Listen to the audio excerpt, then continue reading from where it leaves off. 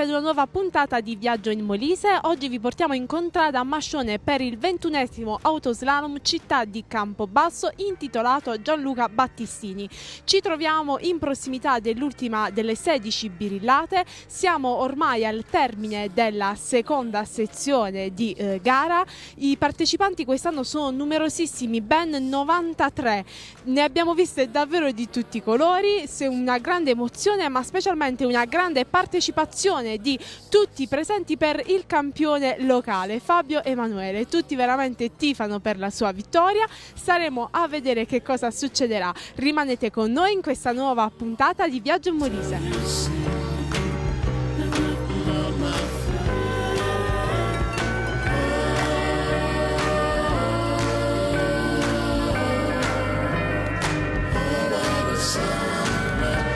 All'interno della concessionaria Vitale Motors siamo in compagnia del direttore di gara Giorgio Cosimo. Ecco, lei è direttore ormai da quattro anni di questo percorso. Oggi le verifiche tecniche sono tanti partecipanti. Che cosa state facendo e in che cosa consistono? Allora, oggi stiamo facendo le verifiche sportive e tecniche, ossia stiamo verificando che i concorrenti abbiano le necessarie licenze per poter correre e che le vetture abbiano le necessarie dotazioni di sicurezza per poter affrontare la manifestazione. Le vetture a quali requisiti devono rispondere? Le vetture sono vetture di tutti i tipi, tutte le tipologie, sia proprio stradali che eh, prototipi. Eh, L'unica cosa che devono avere sono le misure di sicurezza che vengono controllate dai nostri commissari tecnici e, quindi devono avere impianto di estinzione, devono avere i roll bar eh, omologati, sedili, abbigliamento idoneo ignifugo e tante altre cose che sarebbe molto lungo spiegare qui. Parliamo del percorso, un percorso che per prima cosa quanto è lungo? Allora, il percorso è lungo 3 km e 440 metri. E è una gara che si svolge un, in salita e in questo, su questi 3.440 metri ci sono 16 postazioni di birilli. Le vetture praticamente eh, devono eh, nel minor tempo possibile arriva, partire, arrivare alla postazione di arrivo eh, superando queste postazioni di birilli, questa specie di gymkhana che si chiama slalom. La disciplina dello slalom, come ci diceva lei poco fa, sta tutta nell'abilità del piede del guidatore. Qual è il segreto per vincere questa gara? Bisogna essere molto calmi e tranquilli, avere una buona macchina, ma soprattutto eh, avere, essere molto abili perché eh, le postazioni di birilli eh, sono a una distanza, cioè ogni birillata è a una distanza di 11 metri, farle in velocità con la macchina non è semplice, sembra facile ma non è semplice, per cui l'abilità sta nel non far cadere nessun birillo perché ogni birillo sono 10 secondi di penalità. Non ci resta che aspettare la gara di domani e vedere chi seguirà i suoi consigli. Ma guardi, di solito questo tipo di consiglio lo seguono tutti perché sono tutti bravi i nostri piloti. Quest'anno eh, abbiamo una grande fortuna perché ci sono ben 93 iscritti e rispetto alla media nazionale è un buon numero, poi in questi periodi di crisi è veramente eccezionale.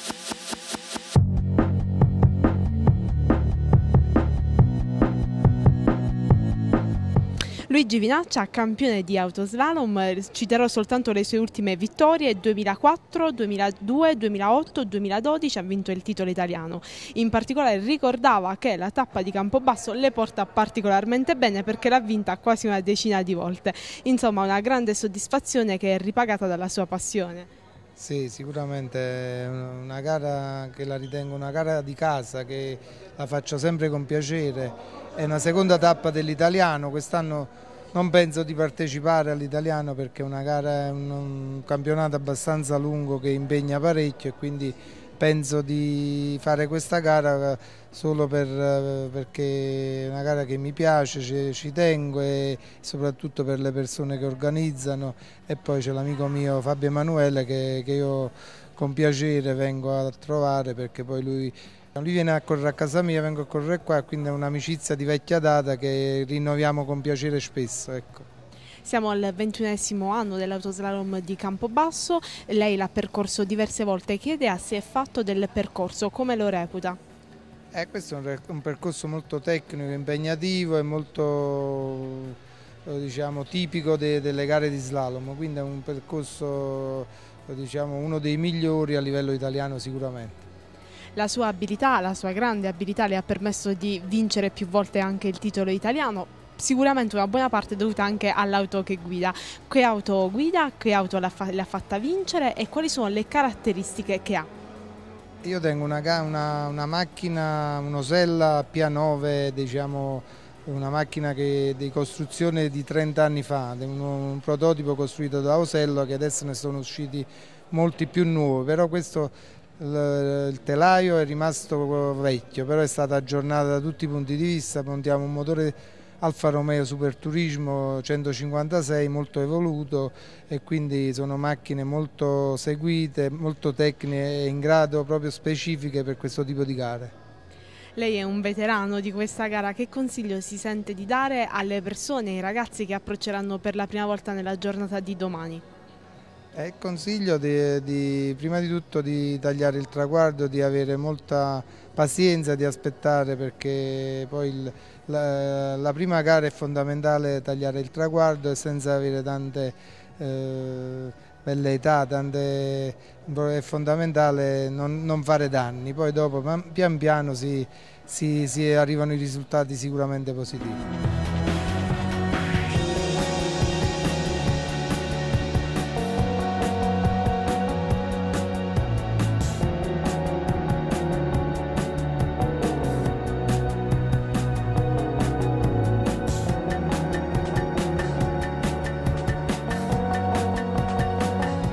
Fabio Emanuele è uno dei campioni e dei veterani di questa gara. Da quanto tempo partecipi? Ma, eh, questa manifestazione dal lontano 1995. Eh, diciamo che campione proprio perché sono diventato campione grazie a questa specialità perché è una gara che viene fatta sotto, il percorso è fatto sotto la mia abitazione, sotto casa mia e quindi avendo visto le prime volte da neofita questa, questa manifestazione mi ha invogliato a prendere parte a questo sport e poi man mano fortunatamente sono venuti giù i risultati. Una gara importante e particolarmente quest'anno ci sono veramente tantissimi iscritti.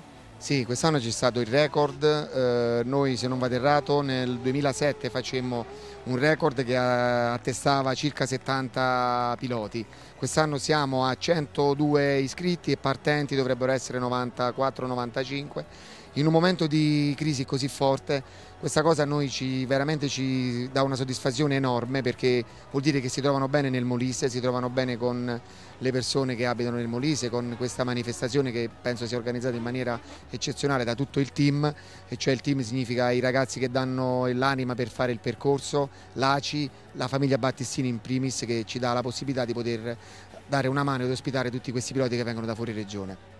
A questo proposito come nasce questa gara ed in particolare la scelta di dedicarla a Battistini, appunto a Gianluca Battistini scomparso? Ma Gianluca Battistini era un forte pilota di automobilismo, guidava una vettura come quella che abbiamo alle nostre spalle, che quest'anno abbiamo voluto avere qui in mostra e purtroppo è venuto a mancare per un incidente stradale molti anni fa e se non vado errato l'anno dopo che lui è venuto a mancare c'è stata questa, questa, cosa da parte di alcuni amici suoi più, più stretti a, a, far sì che si potesse ricordare Gianluca in una manifestazione sportiva automobilistica.